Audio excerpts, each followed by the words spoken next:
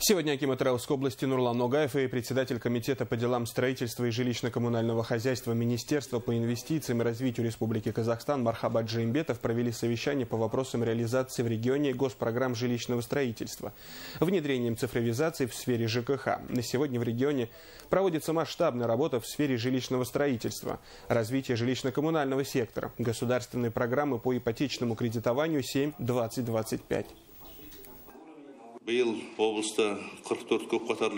В настоящее время в Атыраусской области ведется строительство 44 многоэтажных жилых домов. До конца текущего года планируется сдать в эксплуатацию 34 дома.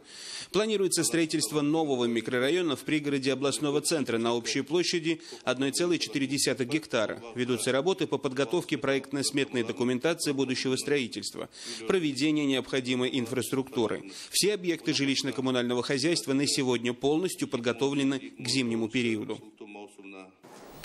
Работа по обеспечению населения жильем будет интенсивно продолжаться и в 2019 году. В течение следующего года в области планируется начать строительство 50 многоэтажных жилых домов. При этом параллельно ведется строительство 19 коммерческих многоэтажных жилых домов, квартиры в которых будут реализовываться по программам ипотечного кредитования 7-2025 и Нурлы-Жер. Глава региона также сказал о необходимости строительства в Атарау канализационно-очистных сооружений. Как отметил председатель Комитета по делам строительства и ЖКХ Мархаба Джимбетов, в регионе успешно идет реализация ряда госпрограмм, в числе которых Нурлыжьер, Нурлыжол, развитие регионов. На совещании был презентован проект по созданию электронной системы ЕШАНРАК, который позволит обеспечить прозрачность сферы ЖКХ, охватить все субъекты жилищно-коммунальной сферы.